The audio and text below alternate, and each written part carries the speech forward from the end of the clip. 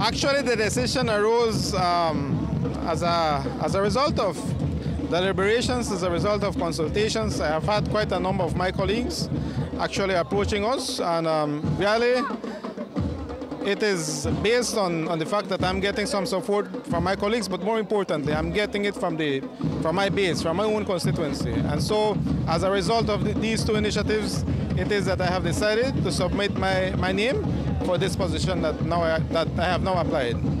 Now, there are two distinct candidates running for the leadership of the party.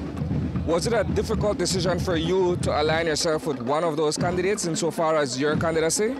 In terms of my alignment with John, as, as I indicated to you, um, both John and Faber are my friends. I have my reasons for, for joining with John. I indicated to both candidates that I will be in support of whosoever wins. At the end of the day, it is, this is just a race.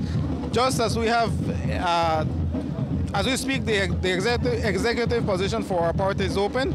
We have candidates applying for each and every position. There will be a convention and so forth. Whatever transpires after the convention, I am willing to work with, with whosoever remains victorious.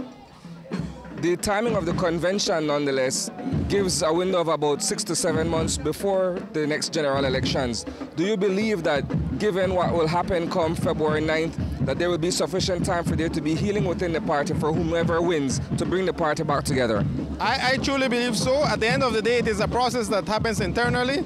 We can't avoid this process the democracy with, with, within our party is so strong that you have a number of candidates applying for the different positions. And so right after that, that exercise is finished, we know for a fact that you will have people who will win, you will have another, others who will not make it to the, to, the, to the end. But look, at the end of the day, those who win will be happy, and those who do not make it will have a level of of dissatisfaction. And so we have to work with everybody, and all of us joining this race know that at the end of the day, somebody will have to win. And in the event that whosoever stays there, the others will have to make up for the, if I may call it, the, the bad blood, if you may.